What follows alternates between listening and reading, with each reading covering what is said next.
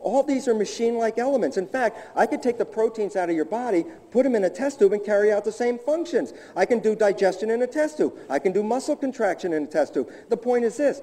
Your body cells are made out of these interesting protein parts. And now let me just talk about the fact is that, remember I showed you there's a backbone version like on the left side of the screen, and then there's a fleshed out version on the right side. It's the same protein. The yellow is an antigen, like a virus. The blue is a protein called an antibody. What I want you to notice is, you see how the shape of the protein and the antigen are complementary? What happens if I would come up here and take out that yellow antigen? What would be left on the surface of the protein? A pocket, a cleft. What would fit back into that shape? The same thing that I pulled out of it. In other words, the shape is so specific that protein surfaces have pockets and clefts and other things plug into them. And I'll give you one more example of that. Here's an enzyme in blue, and then there's a chemical group that plugs in right in there. And look at the shape of the pocket and the chemical group. Why am I bringing this up? And the answer is this. Proteins bind to things in the environment, and they bind with a very high specificity because of the shape. And let me give you an example of this. And let me show you, actually, this is the interesting part. Let me show you where life comes from. You can see it right in this little model. It's going to work like this. First thing before I do this, I'm going to say this. The two amino acids in yellow, let's say they're negatively charged, okay?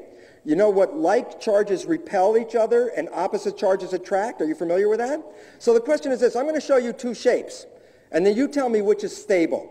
Shape one is this one. See the shape? Okay, shape two is this one. Which is more stable, one or two?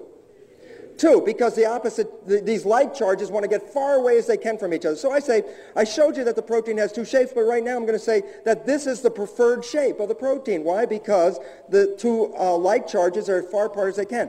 Now a drug, a chemical, or a hormone comes into the environment, just like that antigen in the antibody, and it plugs in. And I'm going to call this a signal now. Now let's say the signal, because the signal is going to be positive, and this is negative, what's going to happen when this comes by? It's going to attract it. Now it binds it, right? Now the question is this. What charge is at the end of this chain, positive or negative? What charge is at the end of this one? Now the question is this. Is this more stable or is this one more stable? Okay, so what did you just, now just think of the logic, what you just said. You showed me two different shapes for the same protein, right? And what's the difference? Of, why does it have two shapes? Because if I take away the charge, let's say I take away this drug, what's, what's, gonna, what's the protein going to do? It's going to go back to this one, right? This is movement, right? Did it go from one to two? Did it move? Movement is the source of life. It's the only molecules that move. Proteins move. Life comes from moving proteins. When I make the protein as it moves do work, then behavior comes from the movement of protein. So basically the question is this, where does life come from? And the answer is First from the structure, the proteins provide for the structure of the body, but then the proteins are capable of changing their shape. Changing shape is called conformation changing. As illustrated right here on this picture, there's a protein, and this is right out of the science journal, so it's not my pipe fittings. This is the molecular model that's in the journal. And you can see the protein in green on the left is, this is the protein that causes muscles to contract. It's a switch. It's like an on-off switch. In the green form, the muscles don't contract. But when I add a signal, which is that white dot, it's calcium. When the calcium plugs into the molecule, it's exactly the same as the signal plugging into my protein. It changes the electrical charge. And when the charge changes on the protein, it changes its shape. So I go from conformation to 1 to conformation 2. But what if I take the signal away? Well, when I take the signal away, as you saw, the protein will reset back into the original conformation. So the point is this. A protein exists and it will not move until what happens? What is the event that causes the protein to move?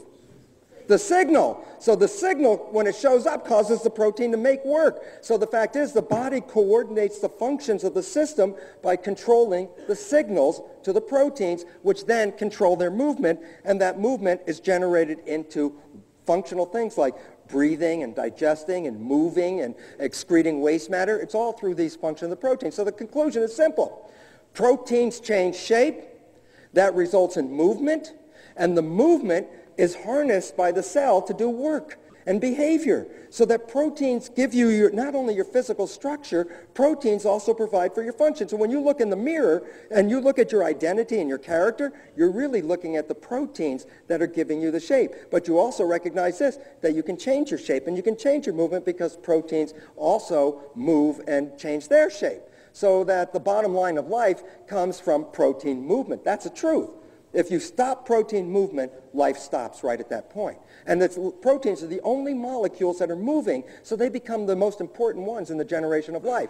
So if I have a test tube on the left side, I put all the proteins of the cell, and I have a cell on the right side with all the proteins in it, so the, the proteins are exactly the same in the left and right, the test tube is not alive, but the cell is alive, and yet it has the same protein. So the question now is, what, what is the difference between the two? And the answer is simply this. The cell has control. The test tube, all the proteins are just working randomly. There's no order, no organization, no orientation. They're just making a gamish, and they're all moving around, but they don't lead to a direction of life. To have life, I have to control the protein's functions. Then I have, I have control. And the question is, so what controls life? Now here's an assumption, and this is where it all went wrong. It goes like this. Protein parts are like parts in a car. When you drive your car, after a while, the parts wear out. Let's say you're driving along and, your, and your, your tire wears out and it goes flat. What happens to your driving then? It stops. Okay, if you wanted to start again, what must you do first? Replace the tire.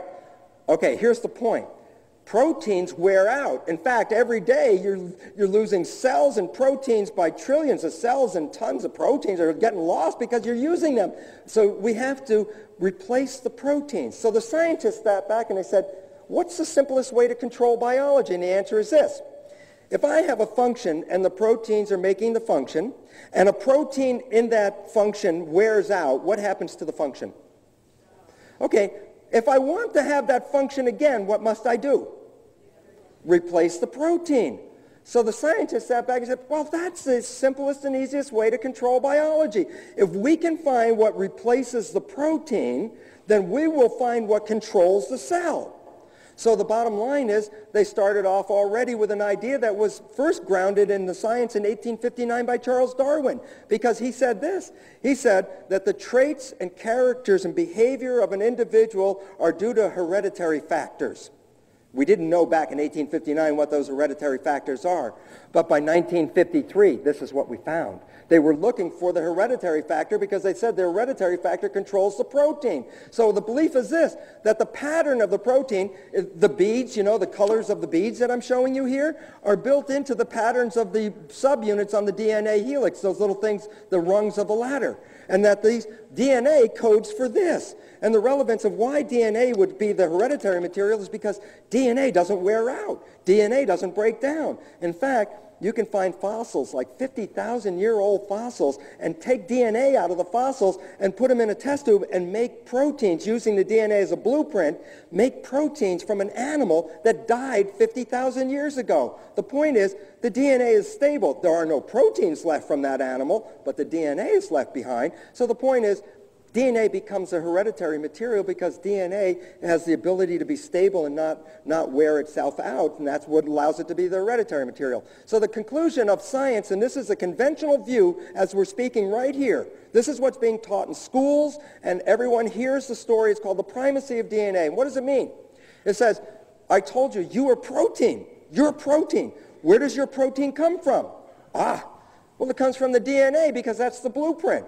And the DNA makes a Xerox copy of itself, which is called RNA, and the Xerox copy goes into the cell, and the blueprint, the RNA blueprint, is read and converted into the protein. So the bottom line is this. Here's a simple understanding. If your character is in your protein, where'd your protein come from? It came from the DNA. So therefore, your character is apparently determined by the DNA. So our belief in the primacy of DNA says this. Who you are, what you are, is predetermined in the blueprint, the DNA. So you become a readout of the DNA. So when you read articles like this in Life magazine that says, were you born this way? Now we start to recognize not only is our physical structure apparently determined by our DNA, but so is our behavior, aggression, anxiety, happiness, alcoholism, obesity, All these kinds of things are now attributed to what? Some pattern that you have received. So if you start to feel ill at some point and then they start to say, well, God, that, you know, you have genes that are affecting you in this. And so the point about it is ultimately what is the belief system? The belief system is if I can understand all the genes and then I could replace any broken genes that you have and I could replace your health. It's a nice, noble concept and led to the Human Genome Project.